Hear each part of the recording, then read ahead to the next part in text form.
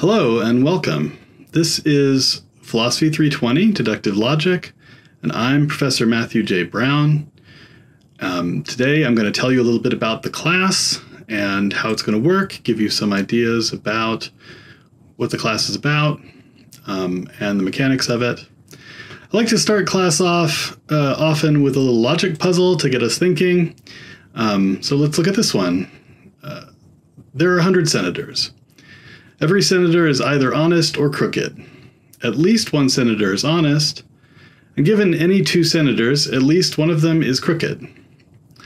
How many senators are honest and how many are crooked? So it's a hypothetical scenario, and what I want you to do is think about um, all the possibilities that are compatible with these statements and figure out the answer to the puzzle. You can write down your answer now. We'll come back to the puzzle at the end of the lecture. I want to start by talking about what logic is. Now, in everyday language, we use the term logic in a few different ways.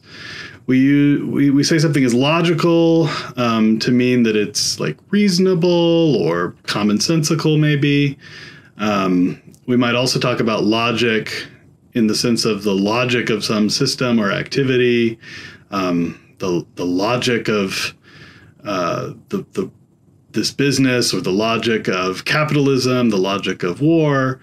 Um, those aren't quite the senses of logic we mean. Logic, in our sense, means the investigation and evaluation of arguments and inferences. Um, if we make an argument or we we make an inference, um, what makes that a good or bad one?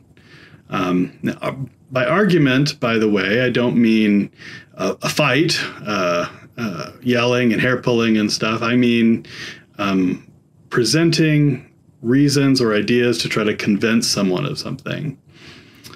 Now, deductive logic, which is our main focus in this class, concerns those particularly strong kinds of arguments or inferences where the truth of the premises uh, that you start with guarantees the truth of your conclusion. Right? We'll talk more about that in a minute. Let's look at some, some examples of arguments. Um, here's one. So, uh, premise one if God does not exist, then life is meaningless. Premise two if chocolate exists, then life is not meaningless. Premise three chocolate exists. Conclusion four, therefore God exists. Now we can ask, is this a good argument? And we can evaluate that in different ways.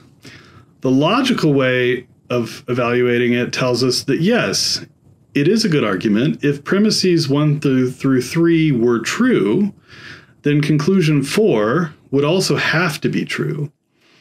Maybe you disagree with one of the premises, right? Maybe you think premise one or premise two is false. Um, maybe you think premises like one and two uh, cannot be true or false because they deal with with concepts that don't have uh, that, that don't have that kind of meaning. Um, but those are not logical issues; those are issues um, of of content, right? Um, if you think, on the other hand, that the premises are true, then you're obligated to believe the conclusion, right? Um, that's what that's what formal logic tells. That's what logical reasoning general, deductive logical reasoning in general tells us. Here's another example. All whales are mammals. All mammals are hairy. So all whales are hairy. Again, this argument is a good one, logically speaking. Now you might object. Whales, dolphins aren't hairy, but they're mammals, so the argument must be bad. Well, in what sense might you say it's bad? You could deny uh, premise one, say that whales are fish. Um, Herman Melville seems to believe that. Uh, or you could deny premise two, say some mammals aren't hairy, right? Um, and, but you, but if you accept premise one and two, you, you it seems like premise three must, or, or conclusion number three, must be right, must be true. Actually, I think the argument is right um, even whales and dolphins have hair, um, although sometimes just uh, in utero before they're born and, and they lose it. Um, Depends, I guess, on what you mean by hairy. Here's a third argument all students carry a backpack, the professor carries a backpack, therefore, the professor is a student.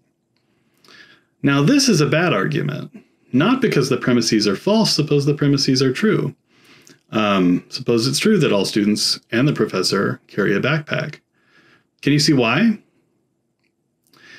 Even if all students carry a backpack, that isn't the same as saying that all backpack carriers are students. The order matters in this kind of statement, and the order of the uh, the order in these cases makes it such that the conclusion doesn't follow from the premises. And one of the tools of formal logic is representing or translating claims in ordinary language into what we call a formal language that makes more clear the form or structure of the claim. We'll learn what the symbols I'm about to show you uh, mean in future units, but we can we can translate claims like if God does not exist, then life is meaningless into a kind of schematic form, right? Here I'm using G to represent God and uh, God exists, and M to represent life is meaningless, and then the arrow indicates the if then structure of this statement, right? Um, all students carry a backpack. Uh, we might represent with a slightly more complicated set of formal tools like this. Um, for all x, if x is a student, then x carries a backpack. It would be how we would read that formal statement. Um, consider a, uh, another statement like this the person who knows the combination to the safe is not a spy. Um, we'll learn much later in the class that the probably best way to represent this formally uh, is a is a formula like this. Now that's complicated and maybe a little intimidating, but by the time we get to it, it will be clear to you what it means and and fair and you'll learn to to do this translation work pretty easily. So that's just a very quick sort of introduction into the basic ideas that we're going to be working with in this class. Um, now I want to get into some of the mechanics of it, how how you're going to work your way through this class. It's an online class.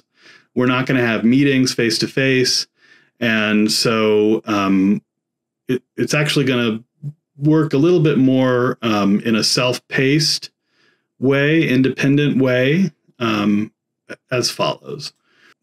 So the class is divided into several units, right? Um, based on the kind of core learning outcomes that we're going to focus on. To get more information about the learning outcomes, you should consult the syllabus, and you'll see both the learning outcomes that you'll achieve if you make the way through the course and how they are tied to each of the units.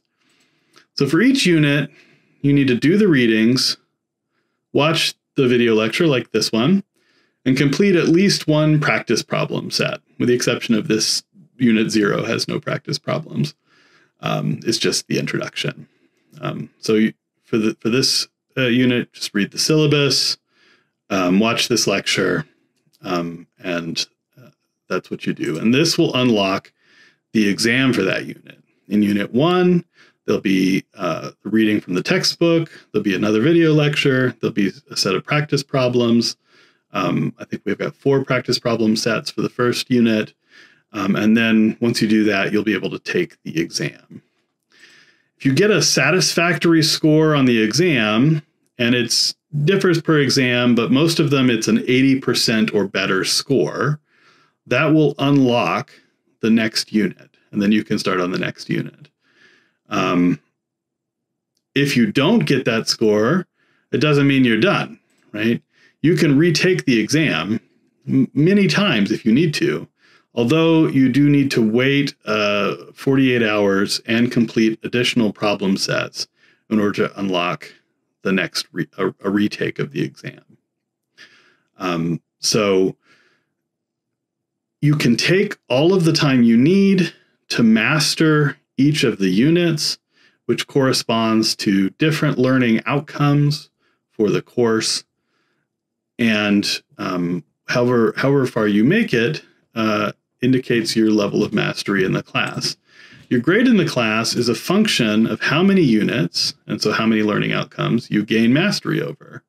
For example, an A in the course means that you get a satisfactory grade on all seven exams. You've made it through all seven units in a satisfactory level. That's a level of mastery. Um, an A minus is exams one through six, right? A B plus is exams one through five, plus giving a good try on exam number six, right? You you tried you tried once. It was more than just a uh, you know click on it and open it and submit whatever. It's a, a genuine attempt, right? Um, the syllabus will give the full breakdown of grades um, uh, and and what you have to do to achieve that grade. Satisfactory, as I said, depends on the assignment, but is typically about 80% correctness, right? Um, that might seem low, but the exams are not easy. And um, uh, to get to that level really shows that you have basically mastered that, that set of concepts, right? Completion of an assignment, and this is most relevant for exams, but also for the practice exercises means making a reasonable effort to complete it, right? Which could consider the number of questions answered, the amount of time taken, um, and the final score that you get. Even though it's not satisfactory, it's it's not just uh, it's better than random chance, let's say, right? Um, so I'll look at your attempts closely to determine whether they meet this criterion whenever it's potentially at issue. So what do you need to do next in uh, to, to move through the class, right? Well, you should spend some time poking around the um, D2L, the course uh, on D2L. Make sure you understand how it works. You should make sure to get the textbook, right? It's free, open access textbook, so you can download it as a PDF. Um, you could print it. Um, there's a there's a print on demand. You can buy a copy of it. It's about seven or eight dollars plus shipping to get the textbook. That way, um, it's nice because it comes bound, but um, that may not be important to you. Um, if you have a good way of reading PDFs on a tablet or something, you could do that. That's okay. I don't recommend reading the textbook on your phone. Uh, I don't think the layout is very good for that, or even on your computer screen. I think it's going to be hard to to take notes and work your way carefully through the through the text. So I do recommend you get a hard copy or you use a dedicated sort of reader um, for it. You should read the syllabus carefully. Again, make sure you understand how everything works and what we're going to work through in the class. Um, and uh, if you're interested, you should join the class Discord server. Um, I've set this up just so there's a place where uh, you we can substitute for cl- class discussion or or conversation with your peers that you would have um, in an in-person class, right? Um, so there's a link to to join the server um, in D2L. Uh, if you're not super familiar with Discord, it's a pretty easy um, uh, program to to use, and I'd be happy to to um, talk to you more about it in, in office hours if you struggle with it. Um, and then take the pra- practice exam that will review some of the introductory materials and unlock the first unit for you. So those are the things you need to do next. Um, once you've done all of those things, unit one will open up. There'll be new readings, new lectures, and um, you'll be off to the races. I'm going to come back real quick to our uh, to our logic puzzle. So let's let's look at that carefully. Um, there are 100 senators. Every senator is either honest or crooked. At least one senator is honest. Given any two senators, at least one of them is crooked. How many senators are honest and how many are crooked? What do you think? What's the answer? I'm not actually going to tell you uh, right here in the video. Um, I want to leave it open to you to discuss on on Discord um, and come up with your own answer. I will answer it. Uh, I will answer it there um, once um, enough people have weighed in. So um, I look forward to uh, to seeing you in the class. Um, I will be available uh, during office hours that are posted on D2L.